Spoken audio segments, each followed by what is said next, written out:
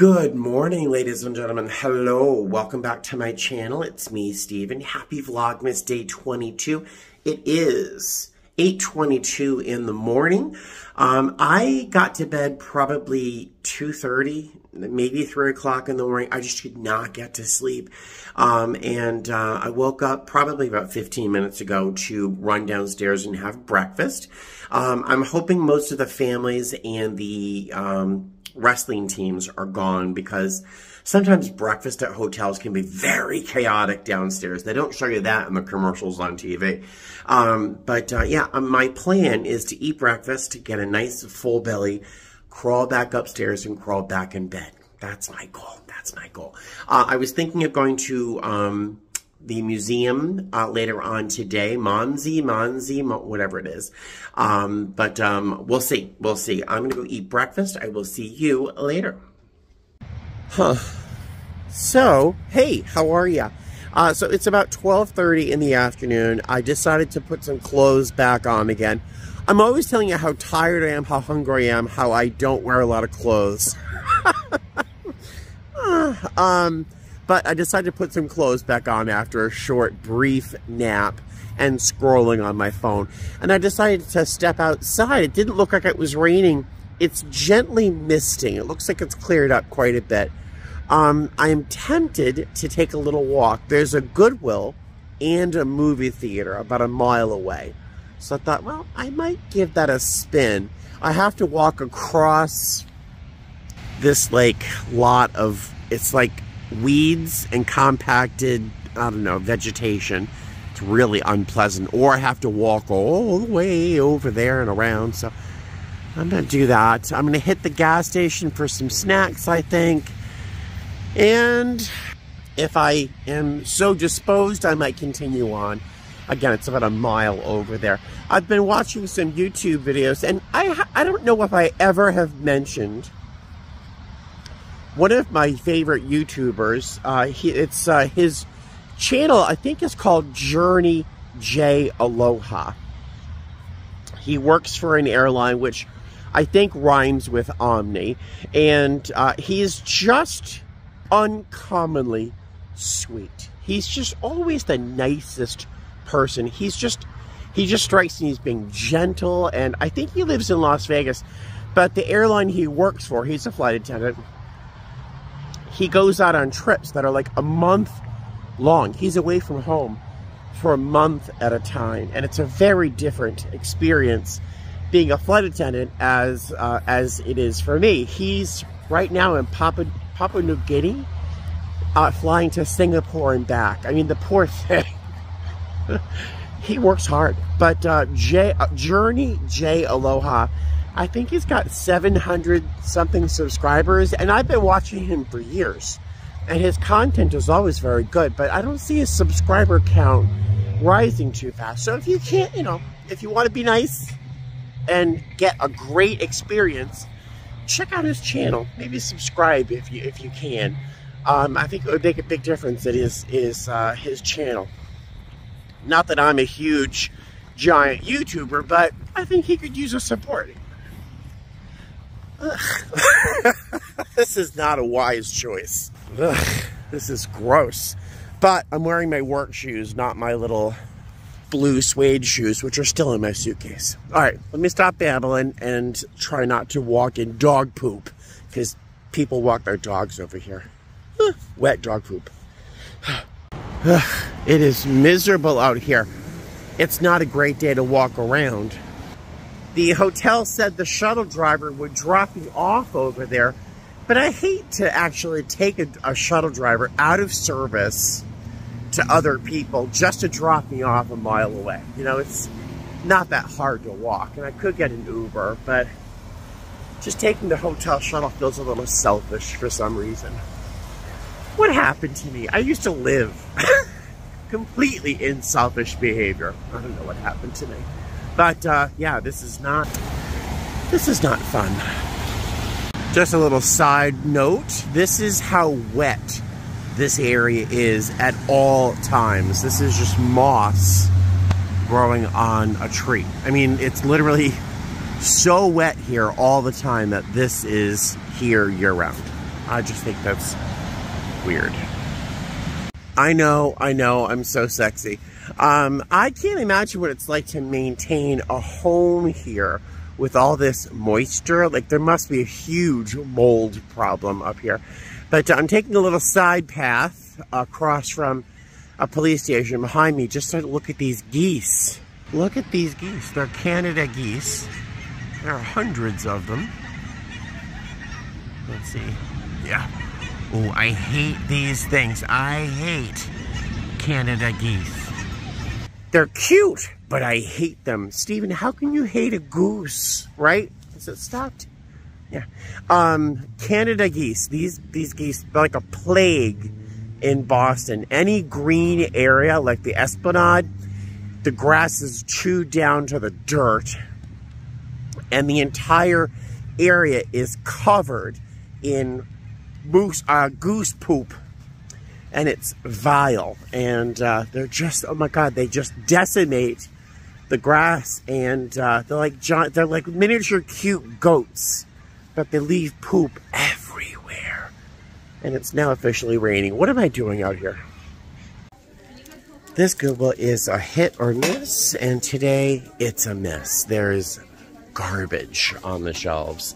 Um, I'm buying a pair of socks because I'm not wearing any and my shoes hurt right now. Um, but uh, and they're new; they've not been worn before. But there is garbage on the shelves, so I will not be here very long. All right, while there was garbage on the shelves, I did find three things: the socks I showed you, uh, a, a Kosta Boda ornament, which I think is gorgeous. It was half off because it's Christmas stuff. And what else did I? Oh, a Hawaiian shirt. I'll show you in the hotel room.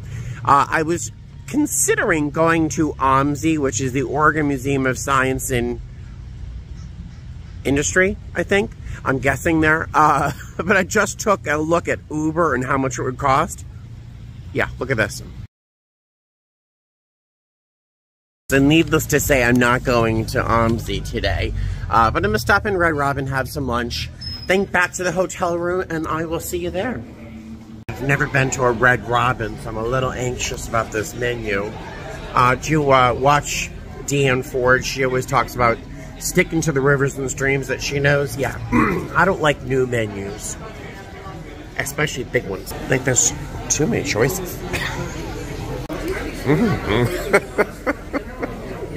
I'm looking at the burger going, oh, it looks good. And then I think, I eat a lot of burgers. I'm watching one of my favorite movies, Lucy. I don't know why I love this film so much, but here is when Lucy meets Lucy.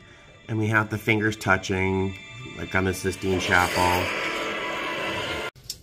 Let's see if I can make the most of the last bit of daylight. It is uh, 4.12 in the afternoon, so the sun's going to set in just a moment. Um, so last time I saw you, I was at Red Robin. I had a good burger. Not the best burger, but a good burger. The best cheeseburger I've ever had was at, was it Zinnia, the restaurant at the uh, Chrysler Museum in Baltimore. That was unbelievable. The fries were oh, so good. They grated Parmesan on top of the fries. So good. Um, so I did find two things at Goodwill, but I bought some socks, which don't really count at Goodwill.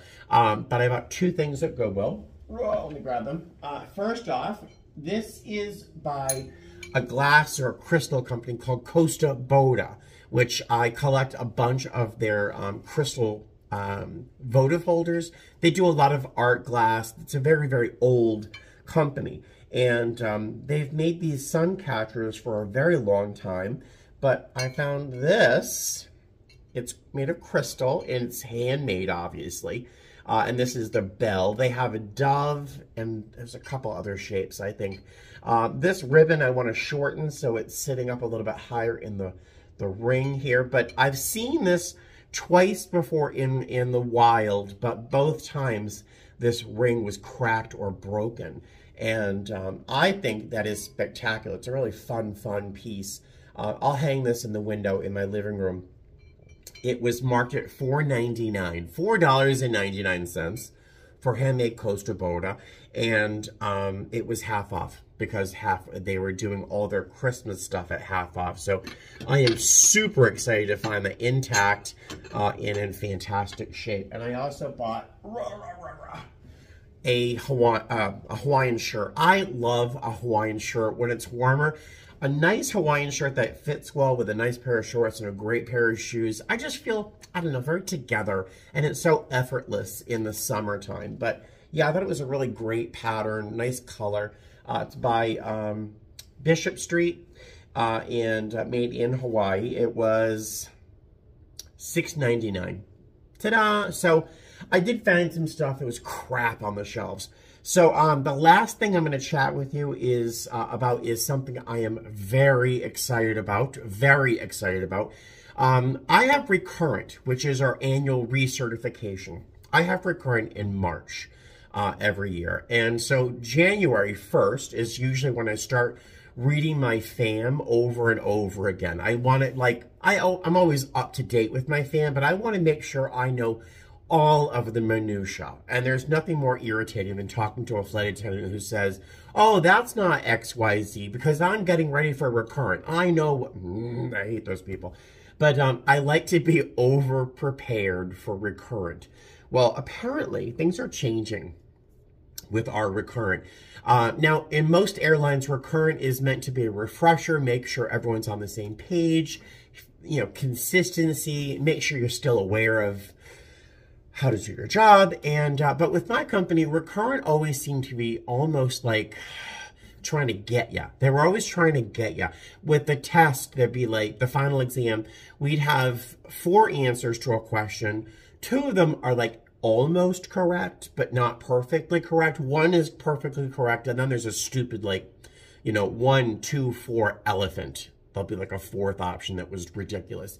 They changed it to the where the multiple choice was like three choices, so they took the stupid answer out.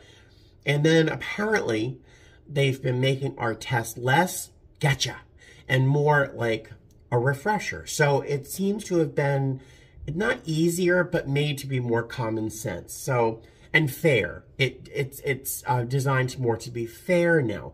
But the part about recurrent that really freaks a bunch of people out is our emergency drills.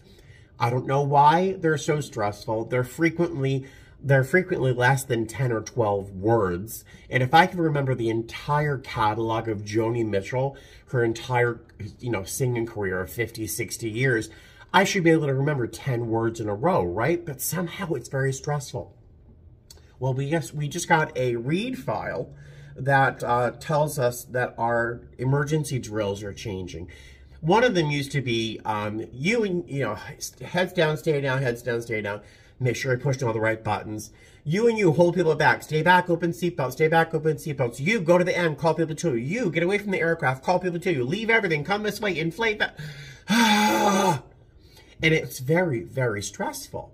And uh, they just changed them. Now, I don't know if I can tell you what they are because it does say sec sensitive security information at the top of the page. So I'm not going to recite our in, our entire emergency drills, although you can probably find them online somewhere.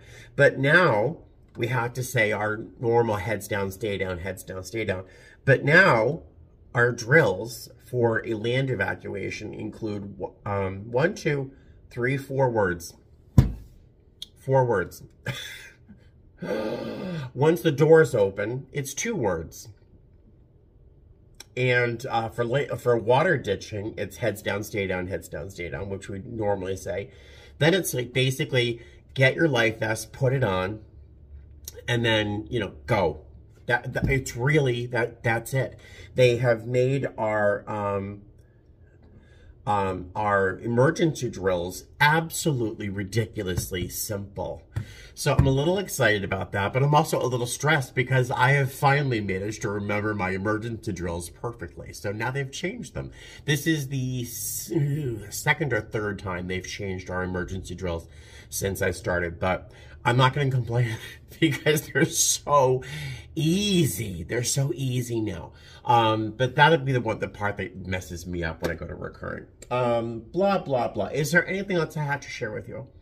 I think that's it. I think that's it. So I'm going to see you tomorrow. All right. Um, have a good night and I'll see you tomorrow. Fly safe. Bye.